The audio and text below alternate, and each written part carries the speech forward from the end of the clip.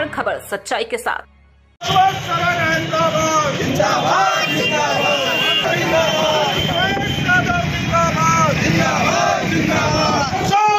की टक्कर पर पुलिस के दम पे ये सरकार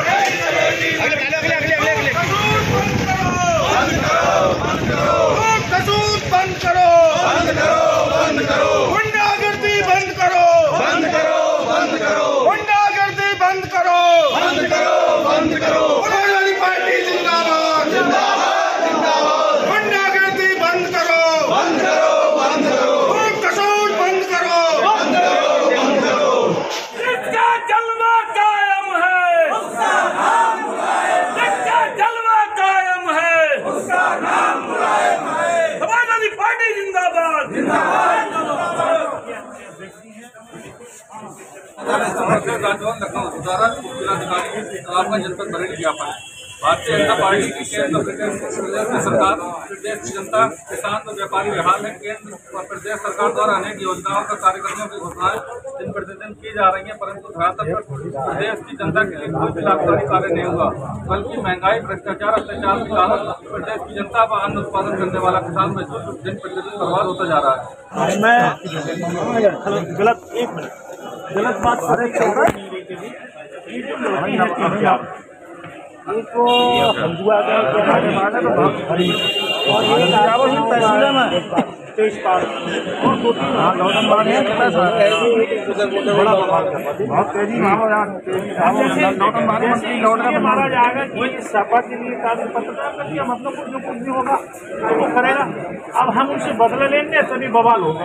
जो बदला लेने छोड़ेंगे नहीं साहब अगर चाहिए आप अगर आपकी कोई घटना घटी तो हम भी पिटाई करवा देंगे। मुकदमा लिखा जाए चाहे जितना चाहे बंद हो चाहे कुछ भी हो। हम लोग देखेंगे आप बिल्कुल चिंता मत करें तो इसलिए ये तीन चार लोगों को पुलिस से है हमने कभी हमने कभी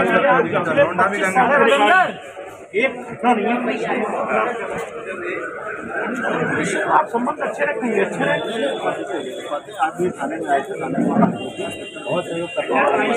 अध्यक्ष जी जानना चाहेंगे किन मांगों को लेकर आपने ज्ञापन सौंपा कई मांगे थी नवाबगंज तहसील में समाजवादी पार्टी के जुम्मेदार साथियों के साथ, माननीय मंत्री भगवत सरन जी के साथ, आज हम लोगों ने एसडीएम साहब को महामहिम राज्यपाल के लिए ज्ञापन दिया है।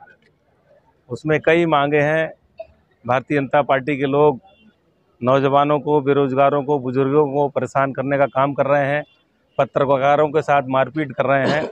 ऐसे कई मुद्दे थे, उन पे एसडीएम साहब का ध्यान आकर्षित कराया हम लोगों ने। जिस तरह से पत्रकार के साथ अभी कुछ दिनों पहले एक वारदात हुई है, क्या कहेंगे? अब गुंडई चरम पे है, चाहे पुलिस के अधिकारी हों, कर्मचारी हों, चाहे पत्रकार हों तो ये तो गुंडे हैं, किसी के साथ कुछ भी कर सकते हैं। इसी तरीके से इनने पत्रकार को मारने का काम किया। मुकदमा सिर्फ़ तीन सौ तेईस, पाँच सौ चार, पाँच सौ छः में लिखा गया है। मुझे लगता है कान का पर्दा भी फटा होगा, अभी तक इनके कान से आवाज़ नहीं आ रही है। अगर इनकी डॉक्टरी कान के पर्दे की हो तो इसमें मुझे लगता है 326 बढ़ेगी फिर इनसी इनकी बेल हाई कोर्ट से नहीं होगी। सही धारा में मुकदमा पंजीकृत नहीं है। के दौरान एक पत्रकार पर हमला करना क्या लगता है? लोकतंत्र भाई ये लोकतंत्र का चौथा स्तंभ है। हम लोग उसको सुरक्षित नहीं रखेंगे तो किस तरीके से वो निर्भीक होके न्यायपूर्ण बात जनता की सबके सामने रख पाएँगे?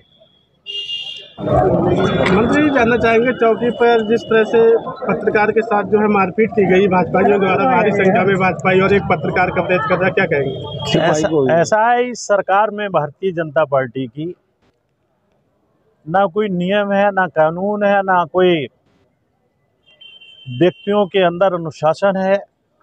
और इसीलिए घटना कुछ थी पैसे की उगाही की एक थ्री व्हीलर वाले से पैसे उगा रहे थे, उसने मना किया तो उसे मारना शुरू कर दिया और लव इन जिहाद का नाम ले दिया। पत्रकार होने के नाते उनने फ़ोटो खींचा तो पत्रकार की भी पिटाई कर दी, उसका कैमरा भी तोड़ के फेंकना चाहा। सारे कपड़े फाड़ दिए और हमने आज जो ज्ञापन दिया है, उसमें एक पॉइंट ये भी है कि अगर इसमें न्याय नहीं मिला तो समाजवादी पार्टी उग्र आंदोलन करेगी।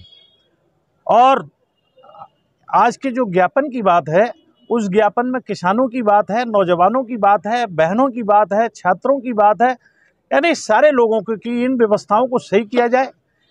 और अगर सही नहीं हुई तो भारतीय जनता पार्टी के खिलाफ इस सरकार के खिलाफ समाजवादी पार्टी आंदोलन करेगी। जिस तरह से पत्रकार के साथ जो घटना घटी एक तरह से साजिश है क्या? नहीं ये बहुत निंदनीय है। लोकतंत्र में अगर पत्रकारिता खत्म हो जाएगी पत्रकारिता पत्रकार लोगों को अपमानित किया जाएगा। पत्रकार लोगों के साथ बहुत खराब हरकतें की जाएँगी मारपीट की जाएगी। तो पर एक लोकतंत्र का एक पाया ढह जाएगा और जो ईमानदारी जो प्रदर्शित करते हैं वो समाज से ईमानदारी का नाम उठ जाएगा। तो इसको लेके आप कहाँ तक साथ हैं? नहीं मैंने अभी कहा कहना चाहिए आपने मैं कह चुका हूँ दोबारा उस बात को नहीं। हम बात पत्रकार की नहीं है। हम हर उस जुल्म के खिलाफ हैं, जिसके साथ होगा, चाहे वो पत्रकार के खिलाफ हो, नौजवान के खिलाफ हो, किसान के खिलाफ हो, जिसके खिलाफ होगा, समाजवादी पार्टी उसके साथ खड़ी होगी। न्यूज़ इंडिया हर खबर सच्चाई के साथ।